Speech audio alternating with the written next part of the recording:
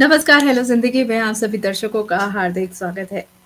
दीपावली का त्योहार नज़दीक है और दीपावली जब भी आती है तो अक्सर हम लोग अपनी काफ़ी काफ़ी दिनों से तैयारियों में जुट जाते हैं। घर की साफ़ सफ़ाई करनी होती है, नया सामान खरीदते हैं घर को सजाने के लिए, और भी बहुत सारे काम रहते हैं। लेकिन अगर घर को वास्तु के हिसाब से सजाया जाए तो क्या आपको पता है कि उसका कुछ बेहतर प्रभाव पड़ सकता है आपकी ज़िंदगी पर? आज हम इसी के बारे में जानेंगे कि इस दीपावली आप अपने घर को किस तरीके से सजा सकते हैं, कौन सी जगह पर क्या सामान रहना चाहिए ताकि आपके लिए उसका पॉजिटिव इफ़ेक्ट पड़े और आपकी ज़िंदगी थोड़ी सी उसमें, ज़िंदगी में एक सरलता आ जाए। तो आइए उसके बारे में जानने के लिए अपने आज के मेहमान का स्वागत करते हैं। हमारे साथ हैं आचार्य, पंडित रविंद्र शास्त्री जी आपका बहुत बहुत स्वागत है शास्त्री जी हमारे कार्यक्रम में। बहुत बहुत धन्यवाद आपको। थैंक यू जी। आचार्य जी हम वास्तु की बात कर रहे हैं हम घर को सजाने की बात कर रहे हैं। हर कोई चाहता है कि उनका घर बेहद सुंदर दिखे खूबसूरत दिखे तो वो उसको सजाना चाहते हैं। लेकिन जब वास्तु की बात आती है तो वास्तु के अनुसार उनके पास कई फाउंडेशन आ जाती है। फिर अगर उस हिसाब से सजाया जाए तो कि कहाँ पे क्या चीज़ रखी जाए। तो सबसे पहले हम्म। आपसे यही समझना चाहेंगे कि अगर कोई इंसान हम्म। अपने घर को वास्तु के अनुसार सजाता है तो उसको क्या लाभ मिल सकता है? हम्म, बहुत बहुत ही अच्छा प्रश्न है। कारण कि दीपावली दीपावली में वास्तु दीप जलाने का विधान बताया गया है कि वास्तु दीप जलाने से सुख शांति और सफलता के लिए वास्तु दीप का बहुत बड़ा महत्व है। आपने प्रश्न किया कि घर को कैसे सजाया जाए तो हम। हम आप जानते हैं कि जैसी दीपावली समीप आती है तो पहले तो हमारे घर की साफ़ सफ़ाई प्रारंभ हो जाती है और कोने कोने से हम कचड़ों को निकालते हैं और हम्म। पेंटर आदि को बुला करके घर को रंगों से पोताई से डिस्टेम्पर से कलर से घर को अच्छा पहले हम बनाते हैं कि घर उसके लायक बने सजाने लायक बने। जी। तो पहले हम जो है पूरा घर के मेंटेनेंस जो होता है जो इंटरनल मेंटेनेंस होता है घर के अंदर रूम को ठीक करना है हॉल को ठीक करना है किचन को ठीक करना है बेडरूम को ठीक करना है और आए हुए जो हमारे मेहमान होंगे उनके लिए जो गेस्ट रूम होगा उसको ठीक करना है। तो ये मन में एक हलचल आ जाती है कि हमको कैसे ठीक करके कैसे हमको अच्छा बनाना है। ये मन में हर घर के मालिक को हर गृह स्वामी को यही हो जाता है कि हमारे घर में शुद्धिकरण हो साफ़ सफ़ाई अच्छा हो चमक दमक अच्छी अच्छी हो तो लक्ष्मी का हम उसी प्रकार से हम स्वागत कर पाएँगे।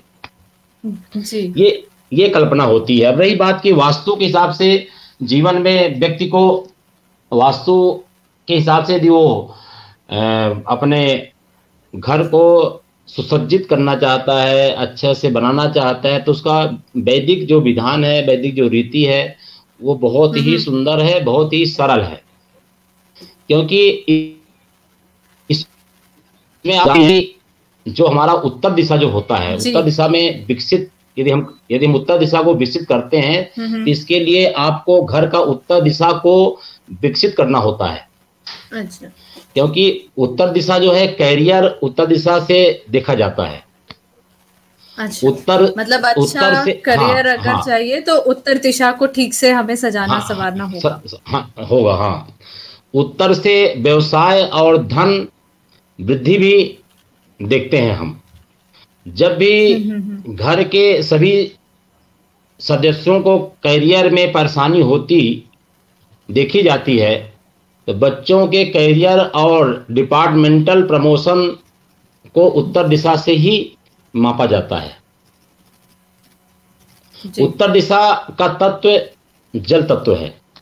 इसलिए जल तत्व से संबंधित कोई भी वस्तु उत्तर दिशा में रखने से उत्तर दिशा विकसित हो जाता है। उत्तर दिशा का स्वामी कुबेर जी हैं। जी।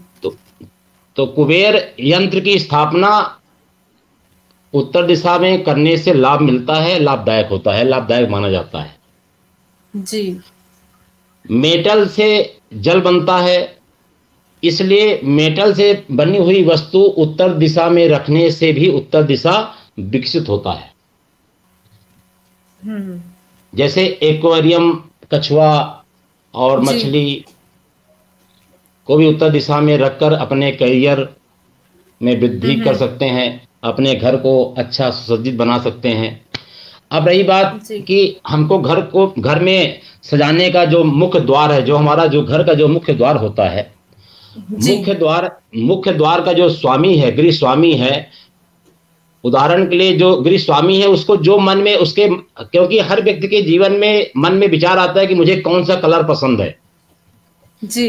तो वो इंटरनल जो है उसके कलर जो है उसके ज्योतिष के हिसाब से वास्तु के हिसाब से ही उसके मन में आती है बात। लेकिन मैं कहता हूँ मान लीजिए उसको नहीं मालूम है तो व्यक्ति को जो हमारा जो ग्रिप माने जो जैसे ही हम अपने इंटर करते हैं अपने जो मेन हमारा जो दरवाज़ा होता है बाहर से जब हम अंदर अपने घर की ओर घुसते हैं तो उस द्वार को जो है मुझे कैसे सजाना चाहिए? तो सजाने का तो बताया गया है कि दीपावली में आप जानती हैं कि केले का खंभे का दोनों तरफ़ रखते हैं तो लक्ष्मी का बहुत बड़ा स्वागत माना जाता है। लेकिन हम रंगोली के द्वारा और रंगोली हम बनाते हैं। रंगोली के साथ साथ जो। है आजकल कलर में कागज़ भी आते हैं। उसके बड़े बड़े बढ़िया अच्छे जी। फ़ैशन रूप में उसको बनाते हैं। और उदाहरण के लिए रंगोली भी यदि अपने पास बाज़ार से नहीं लेना है तो आप आटे का प्रयोग कर सकती हैं हल, हल्दी का प्रयोग कर सकती हैं और हम्म। और आपका जो महा महावर लगाते हैं ना पैर में उसका प्रयोग कर सकती हैं। और अच्छा। लाल मिर्ची होती है लाल मिर्ची का प्रयोग करके हम रंगोली अच्छा बनाया जा सकता है। जी। मतलब मतलब आटा हल्दी और महावर और आपका लाल मिर्ची इससे भी रंगोली अच्छी हाँ हाँ इससे भी रंगोली बनाने से जो है आपका एक सात्विक रंगोली होगी और इको फ्रेंडली बोलते हैं ना इको फ्रेंडली दिवाली रंगोली। जी जी। वो वो वो रूप में माना, माना जाएगा। तो यहाँ पे मैं यही बताना चाहता हूँ कि घर को सजाने का जो वो है हमको उत्तर दिशा उत्तर दिशा को हमको सजाने का छोड़ देना चाहिए क्योंकि उत्तर दिशा में हमको जो उत्तर दिशा से हमको दीप का महत्व बताया गया दीपक का। कोई कुबेर जी है हम्म। वहाँ पे तो उत्तर दिशा को छोड़कर दिशा को सजाने का आप जो है जैसे कलर में पिंक कलर है येलो कलर है और ग्रीन है स्काई कलर है हम्म। हम्म और ग्रे कलर है। इस प्रकार से इन कलरों का प्रयोग करके हम जो है गुलदस्ते बना सकते हैं। इन कलरों का प्रयोग करके हम अपना बेडशीट बना माने बेडशीट का यूज़ कर सकते हैं सोफा रख सकते हैं। जी। तो जी। यहाँ पे जो है वही है कि हमको पहले ये देखना होता है कि हम हमारा जो बैठक है वो बैठक का कलर कैसा होना चाहिए। घर में हम बैठक को मेन बहुत सुंदर बनाना चाहिए क्योंकि हमारे बैठक में ही बाहरी आगंतुक आते हैं और लक्ष्मी का प्रवेश वहीं से होता है। तो हमारा जो द्वार जो है कलर के अनु- अनुसार होगा तो वो जो है उसको बैठने में अच्छा लगेगा और वहाँ पे आए हुए अतिथि जो होते हैं वो हमारे देवगण देव स्वरूप होते हैं। लेकिन मैं इसका एक आध्यात्मिक कारण बताना चाहता हूँ मैम आपको कि दीपावली में वास्तु दीप जलाएँ। मैं ये बोलता हूँ कि दीपावली में वास्तु दीप जलाएँ। हम्म। क्योंकि सुख शांति व सफलता के लिए वास्तु दीप का बहुत बड़ा महत्व है। आप जानती हैं कि वास्तुदीप का बहुत एक एक अच्छा बहुत अच्छा मॉरल है और बहुत सुंदर दिखता है और बहुत आध्यात्मिक उसका लाभ भी है क्योंकि आप देख रहे हैं कि एक कांच या चीनी मिट्टी का कटोरा ले लें लगभग पाँच से छः इंच का होता है। जी। और सुंदर कटोरा लें उसे आधे से अधिक उसमें पानी भर दें। और कांच की जो गोटियाँ होती हैं ना जो बच्चे लोग खेलते हैं कांच की गोली। कंचे जो होते हैं। हाँ कंचे होते हैं हाँ। कांच की जो। गोट, गोटियाँ हैं बच्चों के खेलने वाली जो होती है उस उसको भी पानी में डाल दें। अच्छा। और कुछ रंगीन पत्थर भी इसमें डाल दें। ठीक है। और अंत में गुलाब का फूल का जो पत्ते होते हैं जी। गुलाब फूल की कुछ पंखुड़ियाँ भी इसी पानी में डाल। करके घर के ईशान या उत्तर पूर्व दिशा में दीपक यदि सूर्यास्त के बाद प्रज्वलित किया जाता है तो इस दीपक प्रज्वलित करने से ब्रह्मांड की सकारात्मक ऊर्जा का आवाहन होता है। अच्छा मतलब नॉर्थ ईस्ट दिशा में हमको ये रख लेना है। अ, हाँ रख लेना है।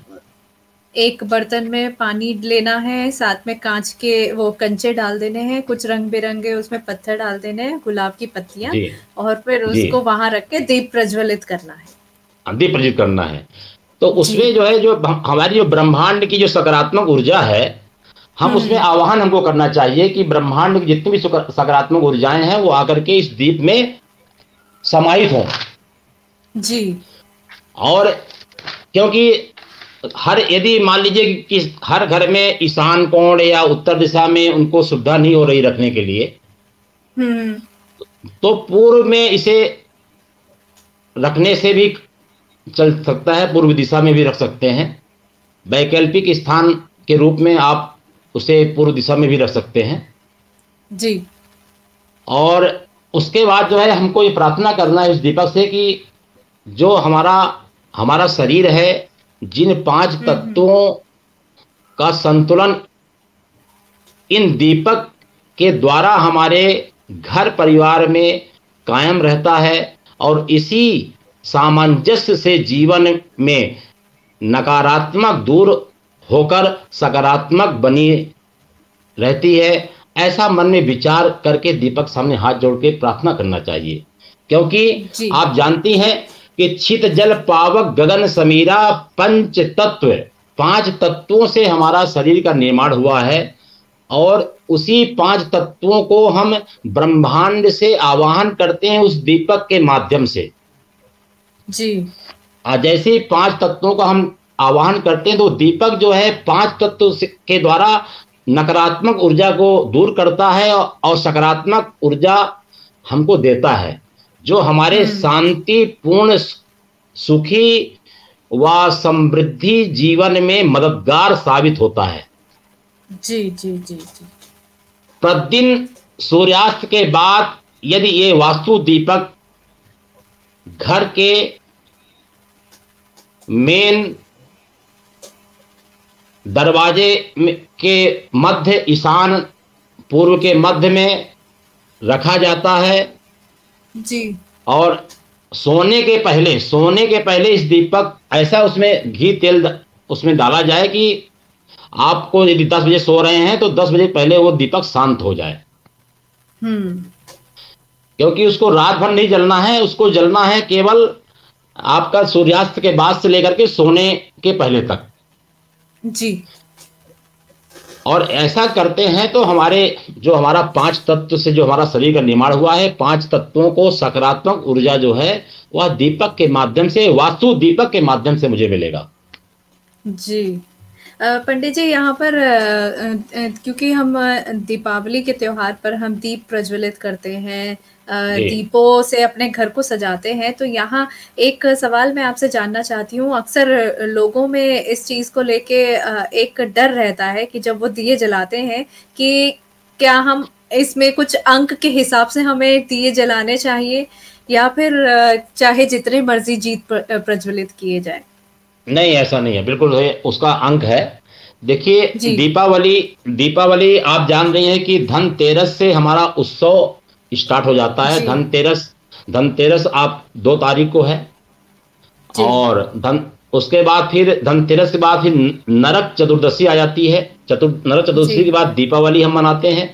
और दीपावली मनाने के बाद हम गोवर्धन पूजा मनाते हैं। गोवर्धन पूजा के बाद हम भाई दूज और यम द्वितीया मनाते हैं। ये पाँच जो पाँच त्योहार पाँचों दिन लगातार ये हमको पाँच दिन मिलते हैं। और। यहाँ से हम धनतेरस से हम स्टार्ट करते हैं तो धनतेरस धनवंतरी भगवान का भी दिन है। आयुर्वेद का स्थापना भी इसी दिन हुआ था। जी। भगवान माने धनवंतरी भगवान का प्राकट्य जो है उन्होंने जो जो आयुर्वेद शास्त्र लिखा हमारे निरोगता के लिए जो उन्होंने औषधि निर्माण का शास्त्र लिखा वो निर्माण का शास्त्र धनतेरस के दिन ही भगवान धनवंतरी ने प्रकट होकर के उन्होंने इसको लिखा। और धनतेरस से हम हम ये कल्पना करते हैं कि हमारे शरीर में कोई रोग ना हो हम निरोग हो जाएँ और हमारे तब हम जा करके हम निरोग हो जाते हैं तो फिर हम अपने पितरों को यम जो नरक चतुर्दशी होती है जो हमारे पितर जो लोक में रहते हैं उनको भी हम दीपक देते हैं पहले हम निरोग हो जाते हैं फिर हम अपने पितरों को याद करते हैं फिर हम माँ लक्ष्मी को आह्वान करते हैं फिर हम भगवान हम्म। श्री कृष्ण का गोवर्धन पूजा करते हैं जो भगवान श्री कृष्ण गोवर्धन गोवर्धन को उठाया था उन्होंने लास्ट होली में तो लास्ट रंगोली हम्म। में भी उठाने का बहुत बड़ा महत्व है उसको भी समय मिलेगा बताऊँगा मैं आपको जी तो मेरे कहने आपने सही प्रश्न किया है कि दीपावली में जो पूजन हमको करना चाहिए उसका भी एक हम्म। नियम है देखिए दीपावली में हमको जो दीपक हमको जो जलाना चाहिए वो जो। है अमावस्या के दिन दीपावली होती है तो ये जो तेरह दिया है। जी। तेरह दीपक जो है हमको दीप मालिका जो पूजन हम करते हैं जो हम दीप हम्म, मालिका। पूजन में जो तेरह दिया है वो दिया हमको तेरह दिया अलग से जलानी चाहिए। अच्छा।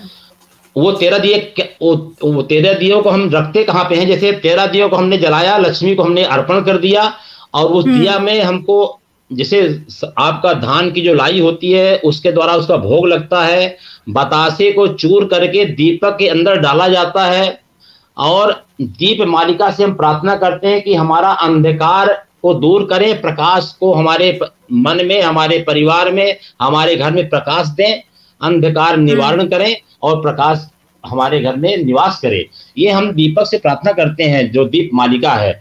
तो कम से कम घर घर में वो तेरह दिए जलने चाहिए और तेरह हो इक्कीस हो इकतीस हो इक्यावन हो एक सौ आठ हो ऐसे दीपक जलाना चाहिए। अच्छा। मीन मिनिमम इकतीस दिया हर हर मने गृहस्थ को इकतीस दिया जलाना चाहिए। इकतीस दिया में क्या होता है कि आपको दीपक प्रज्वलित करने के बाद आपको रसोई में भी रखना है आपको बेडरूम में भी रखना है आपको हॉल में भी रखना है घर के बाहर भी रखना है आपको कुल हम्म। देवताओं को भी देना है उसी दीपक में सबको देना होता है। जी। तो इसलिए जो है जी। हाँ बोले। जी जी आपने पंडित जी अभी आपने जो कहा कि आपको जिन जिन जगह पर वो दिया रखना है तो अभी माफ़ी चाहती हूँ बीच में आपको टोक रही हूँ लेकिन हमारे हम्म। घर में एक ऐसी जगह होती है दीपावली के दिन शायद लोग उसको वहाँ पर दिए या वहाँ रोशनी नहीं रखते जो हमारा हाँ। बाथरूम होता है तो हाँ। क्या बाथरूम में भी रोशनी रखनी चाहिए दीपावली के दिन क्या वहाँ पर भी दिया रखना चाहिए हाँ बिल्कुल रखना चाहिए क्योंकि जो क्योंकि यहाँ पे बताया गया है कि भो हम्म। दीपम दीप दीप स्तंभ कर्म साक्षी अभिनिकित यावत कर्म समाप्ति च तावत तब सुस्थिरो भवा। हम जब दीप को हम आवाहन करते हैं तो आप हम ये प्रार्थना करते हैं कि आप आवा आप आइए और स्थिर रूप में निवास करिए। दीप का जो स्वरूप है वो उनचास प्रकार के दीपक होते हैं फोर्टी नाइन यानी उनचास प्रकार के दीपक होते हैं। अग्नि का जो ज्वाला होती है उनचास प्रकार की होती है। तो हम हम जो आवाहन जो करते हैं दीप मालिका जो हम तेरा दिया जो जलाते हैं तेरह दिया में वो बाथरूम में भी एक दीप, दीपक रखने का विधान बताया गया। इसलिए तेरह दिया रखा जाए तेरह जो तेरह अच्छा। दिया वो बाथरूम का भी दीपक है वो। इसलिए बाथरूम का मतलब ये हो, नहीं होता कि आप आप उसको टॉयलेट की जगह में रख दीजिए। उसका भी जग, उसका भी अंदर जगह होती है उस जगह में माने हम्म। उसी उसके अंदर भी पवित्र जगह होती है उस जगह में रखना होता है। और केवल केवल जो सीट के ऊपर नहीं रखना है आपको उसके अंदर आप कहीं भी माने माने उसको सुरक्षित जगह में आप उसको रखिए व्यवस्था करके लेकिन आप रख सकते हैं ऐसा नहीं है कि आप बाथरूम में दीपक नहीं रख सकते। मतलब अगर कहीं खिड़की है तो उस हाँ, खिड़की पर हाँ, रख सकते हैं हाँ, या अगर हाँ, वहाँ पर कोई रैक है या हाँ, कोई शेल्फ लगी है तो वहाँ पर दीपक हाँ, को रख हाँ, सकते हैं। हाँ, रख, रख सकते हैं। जी जी।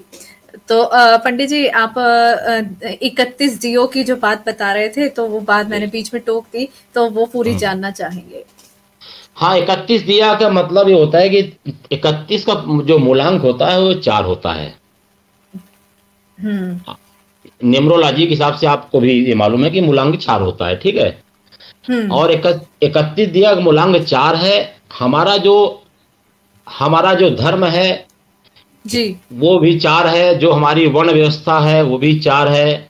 हमारे जो वेद शास्त्र है वो भी चार है। हमारे जो हम्म, हम्म। तीर्थ हैं वो भी चार है। हमारा जो जीव जब से हम जन्म से लेकर के हमारी मृत्यु तक जो है वो भी चार वर्ण व्यवस्थाएँ हैं। माने हमारे जीवन में जो मूलांक चार है वो वो मूलाधार है। इसमें चार का जो इकतीस दिया जो है, ये हमारे जन्म से मरण तक का ये मूलांक है। कि हमको मोक्ष प्राप्त करना है तो हमको चार का ही आवश्यकता पड़ेगी। हमको वेद शास्त्र का अध्ययन करना है तो वो भी चार गुणों से ही मुझे प्राप्त होगा। हमको भगवान के पास प्राप्ति करना है तो हमको चार तीर्थों का भ्रमण करना पड़ेगा। और हमको, जो भी हमको, हमारे जीवन में जितनी भी शुभ चीज़ें हैं, वो सब चार से ही मुझे शक्ति मिलती है, इसलिए इसलिए मूलांक चार ही एकत्रित दिया प्रज्वलित करना चाहिए। जी। अब पंडित जी, यहाँ पर क्या होता है, दीपावली के लिए जब हम तैयारी करते हैं तो अक्सर हम लोग पेंटिंग्स खरीदते हैं हम लोग कुछ भगवान की प्रतिमाएँ मूर्तियाँ कुछ उनकी फ़ोटो हम ऐसी चीज़ें खरीदते हैं। तो अब घर में उनको किस स्थान पर रखा जाए किस स्थान पर सजाया जाए उससे संबंधित जानकारी हम आपसे चाहेंगे कि मान लीजिए हमने अगर भगवान की कोई पेंटिंग कोई फ़ोटो ली है या हमने भगवान की कोई मूर्ति खरीदी है तो उसको घर के किस स्थान में रखना चाहिए? हाँ ये बात सही है। देखिए भगवान की कोई भी भगवान की जो मूर्ति होती है वो हमारे पूर्व दिशा में होती है घर के। जैसे जैसे हम क्या होता है कि आ, हम हम आप जो है पहले तो भगवान अपना जो घर होता है वहाँ पे एक भगवान का कक्ष हम बना देते हैं मंदिर बना देते हैं। और मंदिर की जगह में हम उसमें काफ़ी स्पेस होता है तो मंदिर की जगह में हम मूर्ति को फ़ोटो पर रखते हैं। यदि मान लीजिए कि मंदिर की जगह में हम ज़्यादा एक्स्ट्रा फ़ोटो हो गई है तो आप उसको अपने हाल के पूर्व दिशा में भी आप फ़ोटो लगा सकते हैं उत्तर दिशा में लगा सकते हैं और उसमें कहीं कोई दिक्कत नहीं है। पूर्व दिशा और उत्तर दिशा फ़ोटो लगने से आ, सभी भगवान का और सभी मूर्तियों का भी आप जो है उत्तर और पूर्व का आप अपना स्थान उनको बना सकते दे सकते हैं। जी। जैसे कुछ लोग होते हैं वो अपने घर की एंट्रेंस पे गणपति की मूर्ति रखते हैं या गणपति की हाँ। वो कोई पेंटिंग लगा देते हैं तो क्या वो एंट्रेंस पे गणपति रखना शुभ माना जाता है? हाँ देखिए जैसे हम एंट्रेंस में गणेश जी लगाते हैं तो आने वाले व्यक्ति के लिए वो गणेश जी की जो दृष्टि है वो काम आती है। ठीक है? तो हमारे जो आगंतुक हमारे मेहमान है आने वालों के लिए है ना कि अपने लिए नहीं है वो। यदि हमको अपने घर की घर की दृष्टि के हिसाब से करना है तो वास्तु में एक हमको इंटेंस में लगाना है एक एक अंदर की तरफ़ भी हमको फ़ोटो लगाना चाहिए गणेश जी का जो कि हमारे घर की तरफ़ उनकी दृष्टि हो और एक बाहर जो होती होती है वो आगंतुक के लिए होती है। हालाँकि हम भी जब घर से बाहर होते हैं तो आगंतुक ही होते हैं। गृह स्वामी भी हम्म, हम्म, आगंतुक हम्म। होता है तो उसको भी काम आएगी उसको भी शक्ति काम आती है क्योंकि हमारी जितनी भी निगेटिव ऊर्जा होती है वो इंटरेस्ट में जैसी फ़ोटो होती है तो उसको दूर कर देती है और पॉजिटिव ऊर्जा के साथ हम अंदर इंटर करते हैं। हम्म, अच्छा। कुछ पेंटिंग्स को लेके ऐसा कहा जाता है कुछ वस्तुओं को लेके ऐसा कहा जाता है वास्तु के अनुसार से कि ये चीज़ें घर में नहीं होनी चाहिए। आ, उनका हम्म। शुभ असर नहीं पड़ता घर पर। हम्म, तो आपसे आप वो जानना चाहेंगे कि किस किस तरीके की चीज़ों को हमें अवॉइड करना चाहिए घर में लाने से? देखिए पेंटिंग में आजकल लोग जैसे आप देख रहे हैं कि ताजमहल लोग लगा रहे हैं अपने घर में। ताजमहल को घर के अंदर नहीं होना चाहिए। और जैसे महाभारत की जो फ़ोटो है महाभारत की जो फ़ोटो युद्ध करता हुआ फ़ोटो घर में नहीं होना चाहिए। और हम्म, हम्म। देवी देवी का जो जो विभत्स रूप है रौद्र रूप है हम्म, वो वो वो फ़ोटो कभी भी घर के अंदर नहीं लगाना चाहिए। और पेंटिंग में आपने कहा कि भाई पेंटिंग में हमको हमारी जो करुण रस है सौम हमारे विचारों के जो विभत्स रस है हमारी मतलब हमारे उपलब्धियों का जो पेंटिंग बनती है कि हमारे जीवन में हम क्या क्या उपलब्धि हमने किया है और हमको उस परमात्मा की संरचना की पेंटिंग घर में लगाना चाहिए ना कि कोई डुप्लीकेट पेंटिंग किसी ने आँख से जो चीज़ अच्छी दिखती है वो उसका जो जो निगेटिव जो ऊर्जा है वो शरीर को इफ़ेक्ट करता है। इसलिए हमको कभी भी पें, पेंटिंग जो हम करते हैं तो हमको किसी भरा हुआ तालाब का या सरोवर का या नदी का या ऐसे पेंटिंग हमको बनानी चाहिए और ऐसे घर में लगाना चाहिए जिसमें कि आपके घर में हरियाली हो और समुद्र के जैसे आपका घर स्थिर हो और किसी प्रकार की आपको बाधाएँ ना आए। जी, आपने अभी हरियाली की बात की तो अक्सर लोग घर में एक वो बैम्बू का पौधा होता है या तो वो रखते हैं या मनी प्लांट को घर में रखते हैं लोग, कुछ बॉन्साई पौधे होते हैं जिसको घर के भीतर वो लोग रखते हैं। तो इनकी दिशा क्या होनी चाहिए? किस दिशा में कौन-सी चीज़ रखनी चाहिए ताकि उसका प्रभाव अच्छा पड़े, कोई उससे नेगेटिविटी ना आए? हाँ, जो मनी मनी प्लांट के बारे में आपने जो प्रश्न किया बहुत अच्छा प्रश्न किया। मनी प्लांट के बारे में ये बताया गया है शास्त्र में, वास्तु में भी बताया गया है कि मनी प्लांट का पेड़ घर में रखना चाहिए गमले में और यदि गमले में ही उसको रखने से उसको धूप भी कम मिलती है तो भी तैयार रहता है, हरा-भरा रहता है। और मनी प्लांट जो के अंदर जो हमारी जो किरणें होती हैं उसमें मैग्नेट किरणें होती हैं। और मैग्नेट किरणें जो है उससे घर में सुख शांति रहती है और हम उसको लक्ष्मी का कारक भी हम मानते हैं उस पेड़ को। और लक्ष्मी मतलब जितना प, प, उस पेड़ पौधा जो है वो जितना विकसित होता है फैलता है या जितने जितना अधिक उसमें घने उसमें अपने रूप में लेता है तो उसको हम उतना ज़्यादा शुभ मानते हैं आध्यात्मिक रूप से। और वो शुभ होता भी है और मानने के साथ साथ वो उसके अंदर जो ऊर्जा होती है बहुत असीमित ऊर्जा होती है जो कि घर के उपलब्धि में और घर के लक्ष्मी में विशेष इंटरनल वो सहयोग करता है और फ़ायदा करता है। तो इस पौधा को ज़रूर घर में लगाना चाहिए। रही बात दिशा की तो दिशा जो है क्योंकि लोग फ्लैट में रह रहे हैं तो फ्लैट में उनको दिशा मिल नहीं पाएगी। इसलिए मनी प्लांट का ऐसा बताया गया है कि वो पश्चिम या उत्तर या पूर्व की दिशा में उसको लगाना चाहिए। और यदि मान लीजिए कि वो दिशा अपने पास नहीं मिलती है तो दक्षिण दिशा से उसको उत्तर की तरफ़ उसको घुमा देना चाहिए इसमें कोई दिक्कत नहीं अच्छा, अच्छा।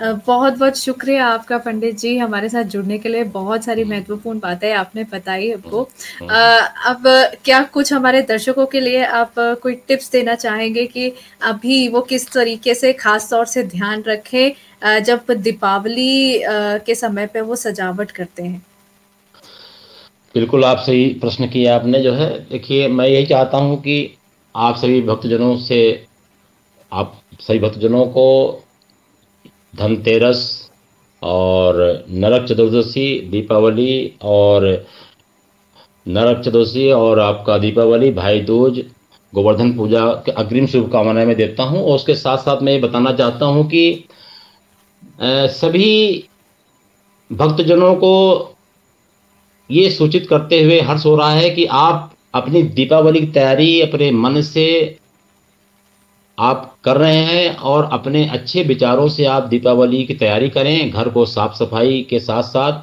परिवार में सामंजस्य बना करके माता, पिता, पुत्र, भाई, बहन, ये सब जो है एक साथ चर्चा करके कि घर को कितना अच्छा बनाया जाए।